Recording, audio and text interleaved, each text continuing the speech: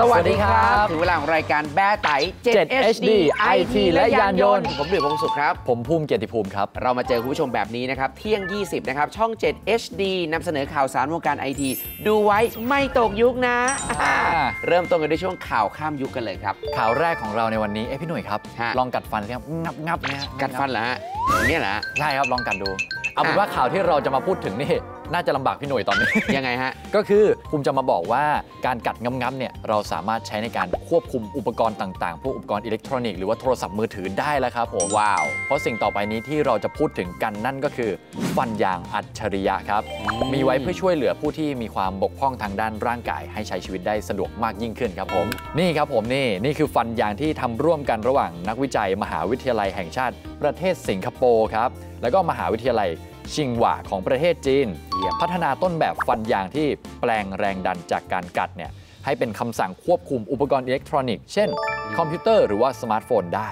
ทำให้ผู้พิการหรือว่าผู้ที่บกพร่องทางการเคลื่อนไหวเนี่ย จะมีทางเลือกในการสั่งการอุปกรณ์อิเล็กทรอนิกส์ได้มากขึ้นครับอืมตัวฟันจะติดตั้งแผ่นสารเรืองแสงครับ เป็นสีสันสีต่างๆ มากมายเต็มไปหมดนี่เหมือนในภาพเลยครับ เมื่อกัดแล้วเนี่ยก็แผ่นเรืองแสงก็จะแบบเป็นสีที่แตกต่างกันออกไปอืมข้อมูลจะถูกส่งเข้าไปในระบบคอมพิวเตอร์ เพื่อประมวลผลออกมาเป็นคำสั่ง ผู้ใช้ยังสามารถเลือกกัดเฉพาะด้านซ้าย หรือว่าด้านขวาก็ได้เหมือนกันนะครับพี่หนุ่มเป็นวิธีคิดที่เรียกว่าฉลาดมากๆ ในครับการตัดสินใจให้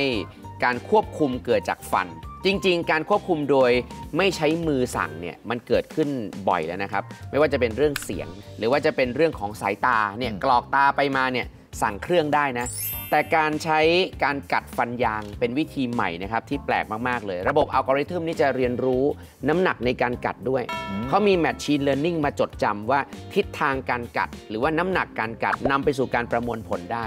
แล้วก็ระบบจะทำงานได้ด้วยตัวเองนะครับ ไม่ต้องติดตั้งกล้องมานั่งถ่ายเกสเจอร์หรือการขยับท่าทางใช่ไหมเดี๋ยวนี้เกมหลาย ๆ เกมเนี่ยใช้ตวัดมือเอาอืมเล่นเอา อันนี้ก็คือการสั่งการชนิดหนึ่งครับแต่ทีนี้พอมันเชื่อมต่อแบบนี้นะครับก็ทำให้ การกัดฟันยางนี้จะสามารถเชื่อมต่อระยะไกลได้ด้วย แต่ว่าการสั่งการระยะไกลนี่ในรายละเอียดยังไม่ได้พูดถึงตรงนี้นะครับครับผมเบื้องต้นครับทีมนักวิจัยเขาก็บอกว่า การตรวจจับความแม่นยำโดยการแปลอินพุตออกมาเป็นข้อมูลเนี่ยความแม่นยำเขามีมากถึง